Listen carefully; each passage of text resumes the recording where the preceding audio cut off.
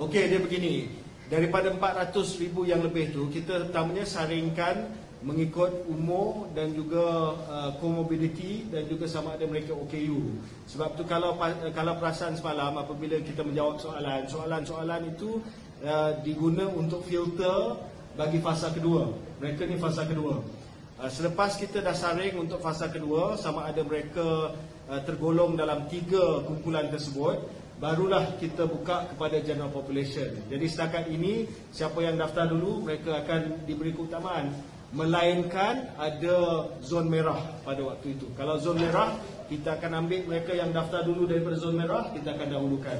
Zon kuning, zon hijau, ya.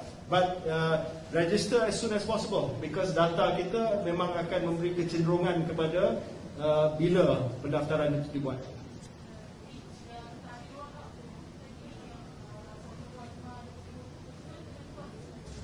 Penentuan based on persediaan di peringkat negeri. Ya, kita nak tengok dari segi PPP, dari segi dia punya peripheral apa dicagari sudah siap ke tidak. Uh, jadi tempoh masa dalam seminggu lebih kurang semua akan mula.